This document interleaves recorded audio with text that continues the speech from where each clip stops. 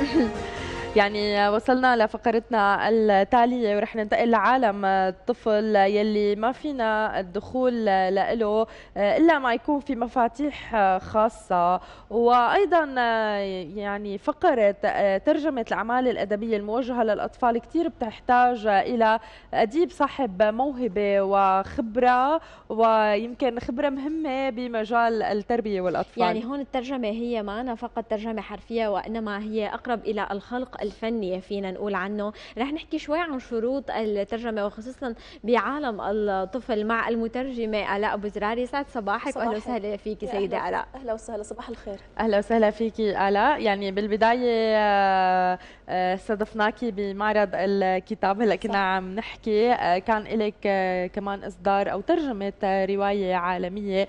خلينا بالبداية نحكي عن الفرق بين ترجمة رواية للكبار وترجمة شيء بخص الأطفال؟ صح بالضبط. على عكس ما بيتصور البعض ترجمة الأطفال أدب الأطفال سواء من ناحية التأليف أو الترجمة هو من أصعب أنواع الآداب لأنه المترجم عليه إنه هو ينتقي يعرف يختار النص بشكل جيد. آه، الاحترام عقلية هذا المتلقي الصغير يلي هو آه، ذكي كثير على فكرة أذكى مما نحن نتصور.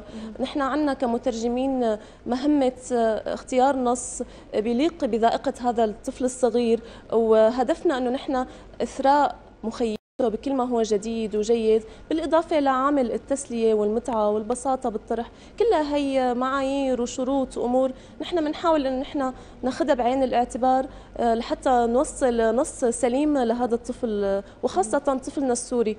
آه، فبالتالي بحس أنا أنه أدب الأطفال كثير له أهميته الكبرى ولازم إنه هو آه، يلاقي مكانه على رفوف كل العائلات السورية بمكاتبهم الخاصة.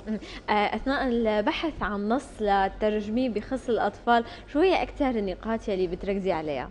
صح. هلا أول شيء آه، مثل ما حكينا لازم النص اللي يوقع بين ايدي اللي أنا أختاره دونا عن باقي النصوص يتمتع بعدة معايير آه، تكون جيدة وسليمة. اولا آه، الفكرة فكرة الطرح المغزى. لازم يكون في مغزى آه، وعبرة أخلاقية سليمة بتتناسب مع معاييرنا وثوابتنا. نحن كمجتمع عربي وسوري على وجه الخصوص. هي الأفكار اللي ممكن نحن نلاقيها. أحيانا المترجم بيوعى بنص. ممكن يكون في للأسف بعض الإيديولوجيات السيئة المدسوسه اللي ما بينتبه لها. فهي مهمة كثير حساسة المترجم لازم ينتبه لها. آه، بالإضافة لبساطة اللغة. بساطة اللغة ابدا ما بتتعارض مع عمق المعنى. في مجموعة قصصية ترجمتها من فترة هي عبارة عن سبع قصص وحبيت أجمعهم آه، بمجموعة صغيرة للكاتبة الفرنسية سابين دالوان.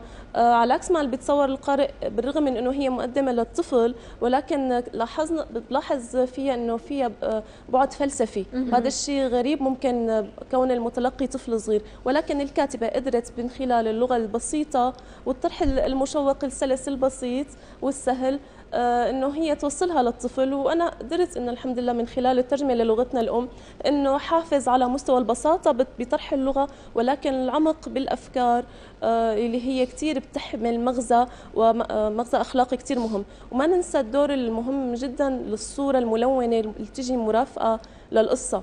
هي الصورة كمان بتلعب كثير كثير دور, دور كبير. كبير للطفل. آه، نحن ما لازم ننسى إنه هذا الطفل عايش بعصر السرعة. للأسف أطفالنا ما عندهم هي الجلادة والصبر إنه يمسكوا كتاب ويقعدوا يقروا تمام والقراءة. فهون بيجي دور الصورة المصورة لتجذب الطفل وخصوصا هلأ بالدوره الثانية المعرض كتاب الطفل. لازم يكون القصص المصورة تجذب الأهالي حتى كمان آه، يحصلوا على أكبر عدد ممكن من القصص مصوره لأطفالهم. نعم. كلها هي معايير لازم نحن نراعيها كمترجمين لاختيار نص جيد لطفلنا. نعم.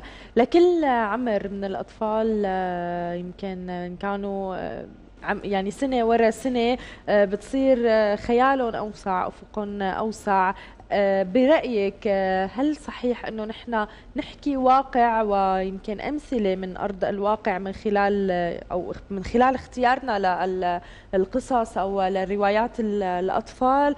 أو لازم نحن نضل عم نعطي دروس أو عبر تعليمية بعيدا عن الواقع؟ مو قصة دروس ولكن على قصة أنه نحن كيف نختار هل الشيء القريب من واقعنا أو الشيء البعيد برأيي أنا الخاص المترجم هو دائما بيقعد بمكان الجسر بين الثقافات والحضارات وبالتالي المترجم لازم يحاول قدر المستطاع ينقي شيء جديد بعيد عن الواقع العربي. دائما نحن بنختار شيء آه، متطور من مبدأ آه، نحن نروح نحو الآخر ونخلي الآخر يجي لعنا. نحن هدفنا كمترجمين وكمؤلفين كمان آه، للأطفال ننشئ جيل بيحترم الآخر بيتقبل بيتقبل الاختلاف. لا خلاف بالاختلاف طالما صح. هذا الاختلاف ما بيمس ثوابتنا وقيمنا الأخلاقية اللي نحن ربينا عليها كمجتمع عربي محافظ.